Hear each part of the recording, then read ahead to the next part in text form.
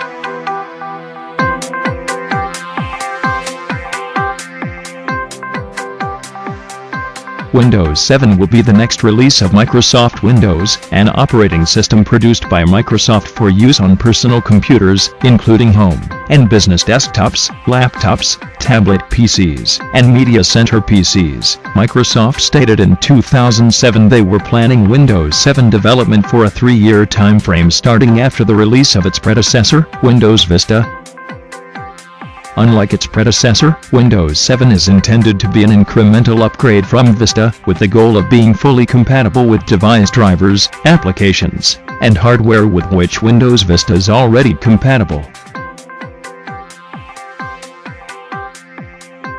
One of the biggest problems Windows Vista had with a much beleaguered operating system was its improved UAC, which ended up pestering users every time they wanted to install a program or change settings, as the screen would temporarily go black before displaying a message confirming the user's preference. Windows 7 will have options to simply display such a message without requiring its users' participation, or only display a message when a setting is being changed. These options should help allay concerns of an overprotective operating system, while still providing superior protection against malicious coders. In Windows 7, more drivers will be supported, and Microsoft has upgraded the display that pops up when a device is connected. Whereas Vista showed an auto-run, Windows 7 will give more options that are built specifically around the device. A connected camera, for example, may offer a link to its manufacturer's website to check for more software.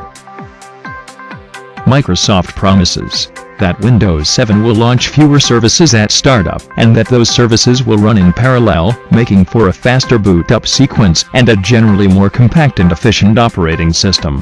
Additional performance boosts should make crashes less frequent than in Vista, although it won't be possible to gauge the success of these improvements until Windows 7 is finally released.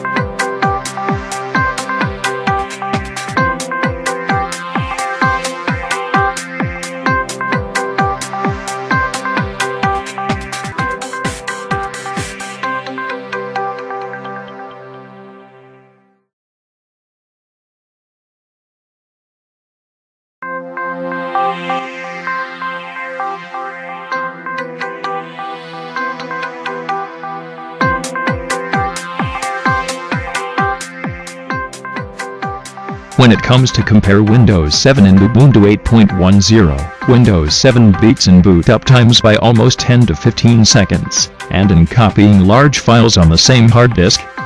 On the other hand Ubuntu shuts down 3 to 4 seconds faster than Windows 7, takes less installation space and installs faster, and requires less interaction.